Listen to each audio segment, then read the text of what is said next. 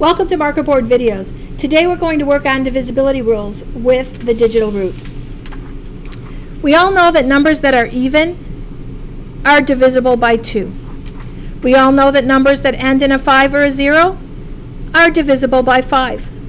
And we all know that numbers that end in a 0 are evenly divisible by 10. It's the 3, 6, 9 that we're going to focus on today.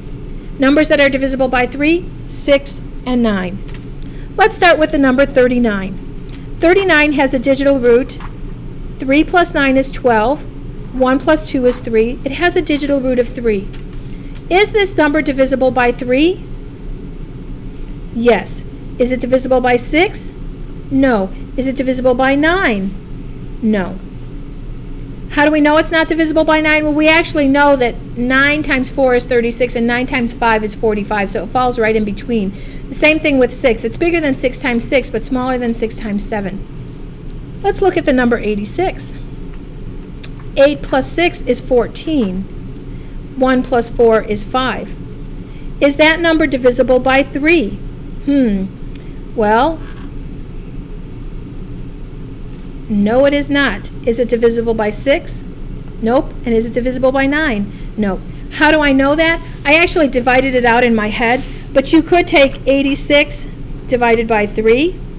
That's 2, 6 leaves me 2, and 3 doesn't go into 26 evenly.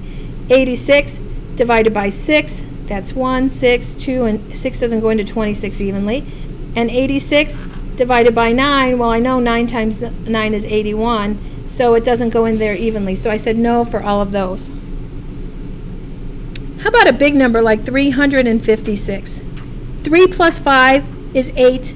8 plus 6 is 14. Digital root of 5. No, no, no. Here's the rule. If it has a digital root of 3, 6, or 9, it is divisible by 3. If it has a digital root of 3, 6, or 9, and is an even number, it is divisible by 6.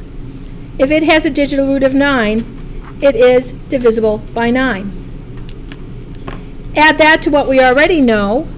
Digital root 3, 6, 9, divisible by 3. Digital root 3, 6, 9, and even, divisible by 6. And that makes sense because you know it's divisible by 6 if it's divisible by 3 and 2. This is how you tell it's divisible by 3. This is how you tell it's divisible by 2. And digital root of 9, it's divisible by 9. You can tell that on every single number that you're dealing with, large numbers or small numbers. I might not know if 11,137 is divisible by 3, 6, or 9, but I can find out real easily. 1, 2, 3, 6, 13, 3 plus 1 is 4. I know immediately it is not divisible by 3, it is not divisible by 6, it is not divisible by 9, 10, 5, or 2. Does that make it a prime number? No, because you still have 4, 7, 13, 17, and a number of other numbers it could be divisible by. How about 690? Off the top of my head, I'm going to find out the digital root. 6 plus 9, 15. 1 plus 5, 6. It is divisible by 3.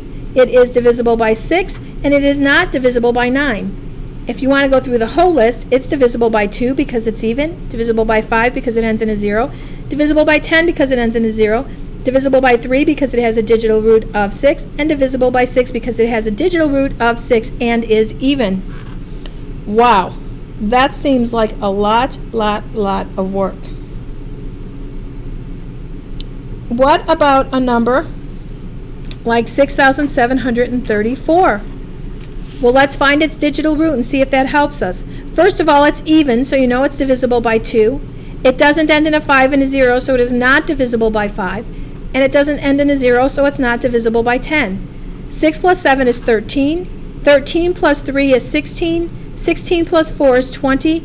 2 plus 0 is 2, so its digital root is 2, which means it is not divisible by 3, 6, or 9.